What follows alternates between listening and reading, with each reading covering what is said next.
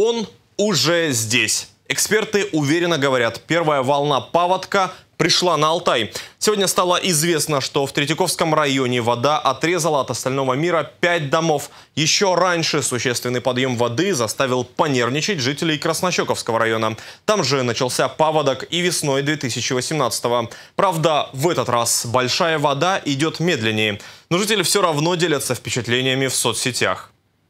Это у нас аэропортная, представьте, все, что вообще кошмар. Краснощекова наши дни. Вода заполняет низины, подступает к жилым участкам. Такая река растянулась на целую улицу. Впечатленные жители не сдерживаются. О, как все вообще, прям все. Вчера в районе деревни Краснощекова 6 числа наблюдался подъем талой воды. Уровень речки поднялся чуть ли не на полтора метра. МЧС предпринимала меры по откачке воды из подтопленных домов и латают дамбу, где ей были нанесены небольшие повреждения. Сейчас уровень воды упал, все нормально. Нормально, да не очень. Тот же местный житель пояснил, смыло некоторые части дамбы, которые должны были отвести воду в сторону от села. Конструкцию уже подправила техника. Вопросом безопасности в муниципалитете обеспокоено и Краевое управление МЧС.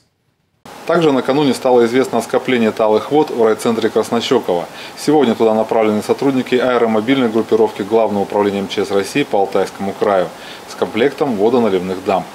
Вон сын, видишь, через трассу идет. Это на Красную Сибирь. Вот через улицу фигачит. На одном из участков трассы в Краснощеково соорудили временную дамбу. Размыла дорогу в селе Староалейское Третьяковского района. Пять домов оказались отрезанными от остального мира. Сами участки, к счастью, не подтопило. Спасатели помогают людям, которые оказались в осаде половодья. Паводок вновь начался с предгорных районов. Юг Алтайского края уже встречает активное вскрытие рек. Чурыш, Алей, Ануй. Алтайскому краю уделили особое внимание и на всесибирской пресс-конференции, посвященной паводку. Но здесь я хочу обратить внимание, что у нас будет э, очень теплая, по предварительному прогнозу, э, декада, вторая декада апреля – и на нее придется э, наибольшая интенсивность э, снеготаяния. В ожидании подъема воды оперативные группы работают в Красногорском, Бийском и Чарышском районах. Проводятся все подготовительные работы. Например, на Бий к спасателям присоединились военные, вооруженные взрывчаткой. Также муниципалитетами проводятся мероприятия по чернению льда, уменьшению ледового покрова, э, распиловке льда, а также по вывозу снега. Э, финансовые резервы созданы, с э, Алтайским краем заключены договора на э, приведение, на привлечение авиации для проведения взрывных работ и заключены договора с организацией, также, которая будет задействована в случае появления заторных, заторных участков на реках края.